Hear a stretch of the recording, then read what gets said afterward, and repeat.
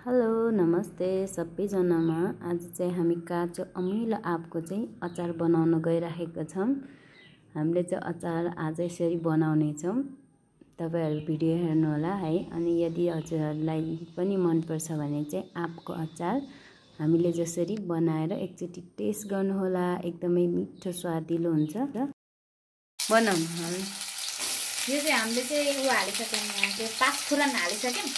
पाँचफुरन हालेर चाहिँ अनि तेलमा यो हाल्ला अचार बनाउनु फुटेछ है गाई।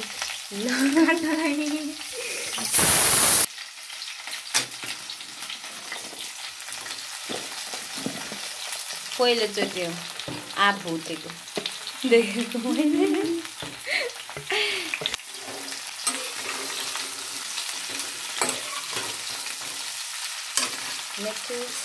ज्वानो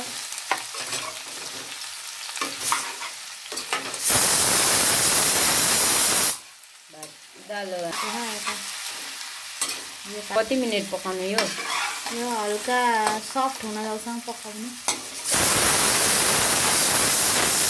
तेल लागोस् भनेर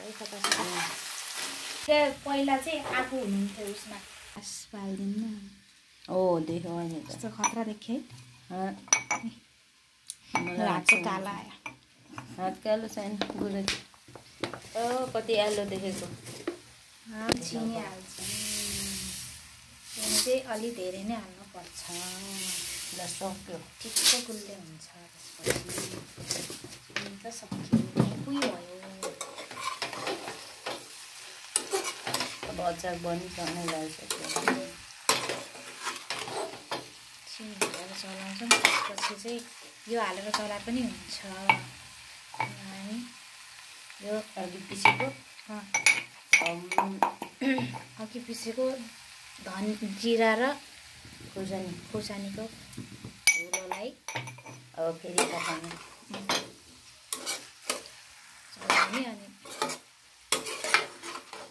सफ्ट भएपछि चाहिँ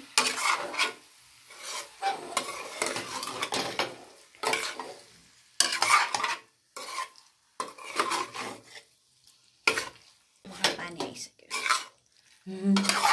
हजुर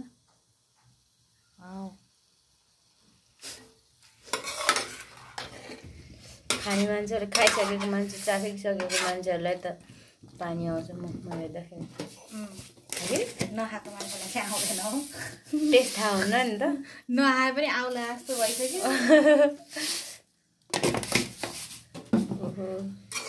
कम भयो कम भयो जस्तो चिनीको मात्रा चाहिँ अलिक बढ्यो। म फेरि मात्रा दिइरहेको क्या चिनीको मात्रा चाहिँ अलिक बढिदिनु पऱ्यो आँप भन्दा किनभने फेरि अमिलो धेरै हुन्छ। गुलियो कम हुन्छ क्या। मैले नि घरमा ट्राई गरेर भाइ भाइ बहिनीहरूलाई खुवाउनु पऱ्यो एकचोटि। ओके। तर काँचो आँपको है? काँचो अझ योभन्दा काँचो झन् राम्रो हुन्छ। अमिलो हुन्छ?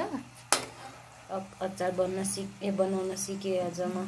फाइनल्ली हाम्रो अचार इज रेडी हाम्रो अचार इज रेडी अब यसलाई सेलाएपछि खाने श्रद्धा मिसले सिकाउनु लाग्छ धन्यवाद तपाईँलाई